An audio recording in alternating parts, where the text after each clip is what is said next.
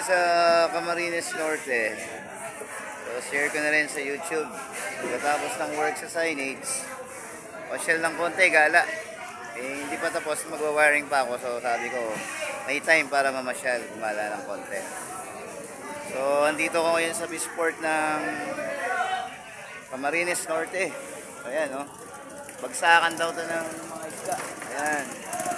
Makikita mo dito, pa-review natin. Makikita gaano kalaki yung mga isda nilang huli. Ayun.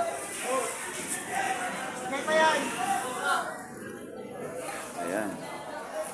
Wow, ang lalaki ng mga isda. Ayun po. Ayan ang mga isda. Ahon nila. Okay, iba-ibang klase. Wow. Wala na sasakyan. Ayan. So, share ko lang siya pang Andrito din. Eh, bata, may hawak siyang... Ano bang? Kailangan kagandahan sa pagtrabaho.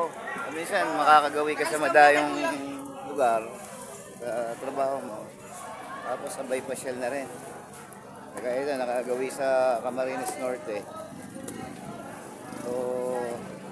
pasyal-pasyal lang.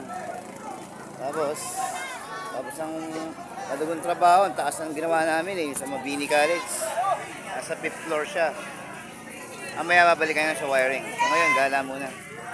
Pakita ko yung pasyalan dito sa Daet. Mercedes, Camarines Norte. Ganda oh. Ganda niyan. Ganda ng view.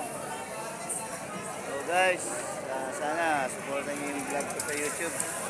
Like, share, and subscribe na rin kung gusto niyo. Lahat.